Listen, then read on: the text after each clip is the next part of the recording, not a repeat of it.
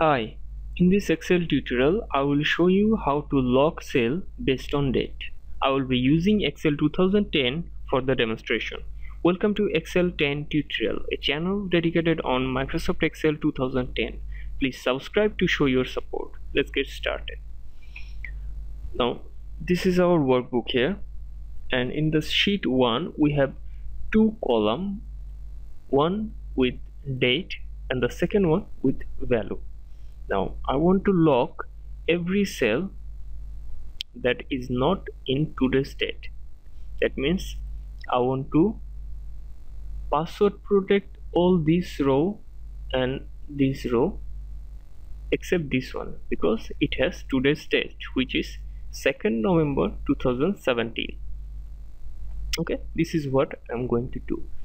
To do that I will be using VBA code Visual Basic Code and let's open the visual basic editor. Now click on the sheet 1 in the lower left corner. Actually right click on the sheet 1 and then click view code. This will open the visual basic editor. Now you will have to write the code to password protect or to lock the cell based on date.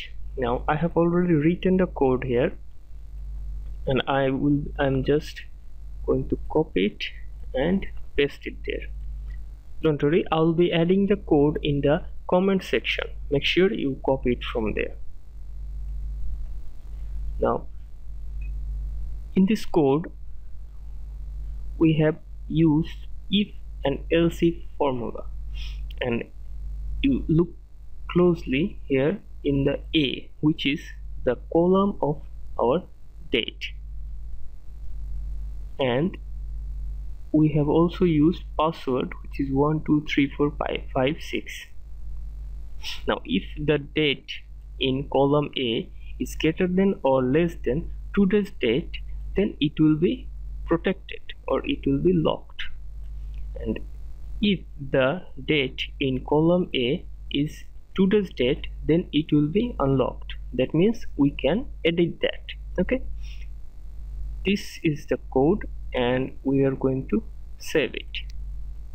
Now we'll have to save the excel file with this format excel macro enabled workbook which is xlsm okay? We'll be saving it like that. Now this is our workbook again and this is today's date and I can edit it like this okay? See it's edited. I can change it anytime I want. Okay? Now if I click here I can't edit it. And this dialog box says only today's date row can be edited. Now if I click previous date same result. And if I click today's date I can edit it see? It's simple. That's it for now. And in the next tutorial I will show you how to lock all row with previous date. And remember the VBA code for this tutorial is in the comment section. I have pinned it in the comment. If you need uh, this tutorial in PDF format uh, please use the link in the description. If you need any specific tutorial please use the channel discussion section or uh, in the uh, the link in the description to request any tutorial you want. If you like this advanced tutorial uh, give me a thumbs up. Got anything to say leave me a comment or you can show your support by sharing and subscribing. That's it. This is Kazi signing out from Excel 10 tutorial. Thank you